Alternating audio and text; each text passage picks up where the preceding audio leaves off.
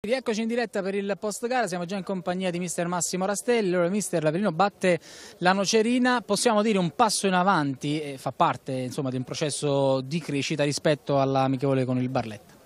Sì, sì, assolutamente, ho visto tante cose positive, c'è stato lo stesso atteggiamento comunque che abbiamo avuto a Barletta, una squadra comunque eh, che era subito entrata in partita, piano piano abbiamo secondo me eh, fraseggiato meglio, abbiamo trovato meglio gli spazi, all'inizio poi magari anche il gran caldo i ragazzi hanno fatto un po' fatica, però ripeto l'approccio è stato positivo. Piano piano abbiamo preso in mano le redini del gioco, abbiamo creato tante ottime situazioni, potevamo verticalizzare e, e rifinire meglio, comunque concludere meglio in alcune circostanze, però ripeto quello che cerco di poi di vedere al di là del risultato che, ripeto, eh, lascia il tempo che trova, ma vedere eh, la crescita, come hai detto tu, della squadra di partita in partita sotto tutti i punti di vista. E oggi, oggi c'è stato, il fatto comunque di giocare alle 5 e mezza con un, un gran caldo eh, ci serviva anche per soffrire, per andare oltre un po' la stanchezza. I ragazzi oggi sono stati veramente molto molto bravi. Ecco mister appunto quel piano piano perché effettivamente i primi 20-25 minuti abbiamo trovato un po' di difficoltà a trovare le coordinate giuste qualche spazio di troppo, abbiamo visto un po' qualche erroruccio del passato sugli esterni, sulle ripartenze loro, però poi ci siamo sciolti e abbiamo visto proprio alcune giocate anche eh, pregevoli. Tra queste io direi anche mh, sottolineare le prestazioni degli attaccanti, su tutti i Patierno si sono sbloccati, cioè tra virgolette sbloccati, hanno segnato e a questo punto ecco l'intesa tra i due a che punto è da quello che possiamo vedere? Ma, eh, noi abbiamo, abbiamo, iniziato cercando di andarle subito a prendere altissimi e a volte abbiamo, siamo andati anche oltre, no? nel senso la foga, la voglia di andare a, a riconquistarla subito quando comunque eh, l'avevamo anche preparata per aspettarli anche un po' di più, per farli venire e poi conservarci un po' di spazio e quindi inevitabilmente, soprattutto contro il 3-4-3 che è naturalmente un sistema di gioco che devi essere veramente perfetto, se no ti vanno a giocare tra, tra le mezze linee, tra, tra l'ampiezza del quarto e il, il trequartista e quindi quando piano piano queste distanze le abbiamo colmate bene non abbiamo assolutamente rischiato, abbiamo recuperato palla molto alta e siamo ripartiti. E col passare poi degli allenamenti, delle gare, anche l'intesa naturalmente tra i giocatori, non solo per gli attaccanti ma di, il, di tutta la squadra naturalmente migliora. Eh, di allenamento in allenamento naturalmente andiamo a ripetere sempre di più certi meccanismi e che poi i ragazzi in partita cercano di, di, ritrovarsi, a volte ci riusciamo, a volte no, però è importante che cercano di determinate triangolazioni, soprattutto con questo sistema di gioco che ti permette comunque di avere grande densità in mezzo al campo e poi naturalmente devi essere bravo anche quando poi vai un po' a cercare degli sbocchi esterni. 3.300 abbonamenti, eh, la Sud che oggi è uscita allo scoperto, Presidente portaci in Serie B, eh, c'è grande entusiasmo e tu sai che hai anche un grande ruolo di responsabilità, naturalmente tu e tutta la squadra. Come sempre d'altronde, quindi eh, mi fa piacere, mi fa piacere che mm, siano venuti tantissimi tifosi che hanno fatto capire fin da subito la, la spinta che ci possono dare in ogni gara quanto per noi siano veramente un, uh, quel, quell'uomo in più che ci, da, ci deve dare sempre quella spinta nei momenti di difficoltà. I ragazzi sanno, soprattutto i nuovi arrivati, cosa significa, eh, stanno iniziando anche a capire cosa significa indossare la maglia dell'Avellino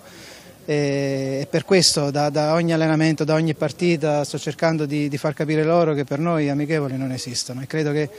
la squadra, ripeto, tranne il primo tempo contro eh, il Casal Bordino. Boldino credo che piano piano stia crescendo, anche dire, siamo in preparazione quindi anche, è anche normale, però il nostro pubblico è fondamentale, sappiamo il campionato che dobbiamo fare, quindi eh, stiamo, credo, voi avete seguito ogni minimo allenamento, credo che si stia facendo un buon lavoro, c'è ottima armonia all'interno e all'esterno, quindi per noi tra virgolette diventa anche più facile insomma, lavorare. Esatto, non hanno la partita, abbiamo sentito, eravamo dietro le panchine più volte dire e chiedere ai suoi di essere meno leziosi. Che cosa intende quando dice essere meno leziosi, forse più pratici o magari più lucidi? A tal proposito le chiedo anche di D'Angelo, perché forse è quello che in questo momento ha maggiori difficoltà a centrocampo. No, nel senso che a volte ho visto solo un po' di superficialità o forse troppa convinzione in qualche passaggio semplice e, abbiamo permesso poi all'avversario di, di rubar palla perché non è stata fatta giocata con la dovuta cattiveria. In questo senso per me era eh, voglio che i miei ragazzi siano, siano, concreti sotto questo aspetto, cattivi anche se devo fare un passaggio di un metro. E, però ripeto, fa parte del, del, periodo, della crescita e qualche pallone lo si può sbagliare, l'importante è come stanno facendo, cercare subito di rimediare, di andarla a riconquistare subito. E questo credo che sia un aspetto che per noi, almeno per il calcio che intendo io, è fondamentale. Per quanto riguarda Sonny, eh, ripeto, ha le sue caratteristiche, è un giocatore che naturalmente eh, magari spende subito determinate energie, deve essere un po' più bravo a gestire determinate situazioni e credo che poi col passare del tempo anche lui migliorerà la tenuta fino ad arrivare al novantesimo in ottima condizione. Ecco mister, abbiamo visto due volti nuovi qui a guardare la partita al di là di Diaco Gione che c'erano Michele Rigione e Salvatore Pezzella, insomma se ci descrive un po' queste operazioni, nel senso cosa potranno dare all'Avelino anche se hanno, non hanno bisogno di presentazioni, soprattutto Rigione per l'esperienza che ha. Sì, appunto, sia Cionek che Rigione penso sia poco da dire, due grandissimi difensori di grandissima esperienza, di grandissima personalità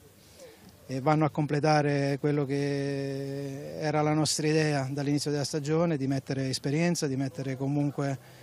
eh, personalità all'interno non solo dello spogliatoio, ma soprattutto del, non solo del campo, ma soprattutto dello spogliatoio. Eh, Pezzella invece è un giocatore che mi permette di poterlo utilizzare sia da play davanti alla difesa che da, da mezzala, un giocatore di grandissima qualità, è un giovane quindi è anche importante avere giocatori comunque freschi che possano diventare anche per la società insomma, un valore. Ieri sera a Sturno Giorgio Perinetti ci ha detto abbiamo fatto tanto, però saremo vincili sul mercato fino alla fine, questa frase come la dobbiamo interpretare? Rastelli e noi dobbiamo aspettarci ancora qualcosa? Eh, lo deve chiedere al direttore, io io penso solo ed esclusivamente ad allenare, mi dovete credere, non ci credete perché pensate che io sia bugiardo, ma eh, veramente ci sono state delle situazioni dove sono arrivati al campo e mi hanno detto mister oggi c'è una sorpresa per te e quindi qualsiasi cosa facciano io sono contento. Non lo so, ci pensano loro.